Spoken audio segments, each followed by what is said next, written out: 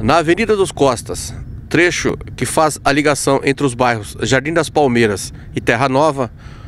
um poste de iluminação pública está colocado no meio da via pública, preocupando os motoristas que trafegam pelo local. Segundo a assessoria de imprensa da prefeitura, a avenida será asfaltada, mas a preocupação dos motoristas é que o poste instalado no meio da via pública realmente causa muito perigo, já que os moradores, tanto dos bairros Terra Nova e Jardim das Palmeiras, constantemente passam pelo local.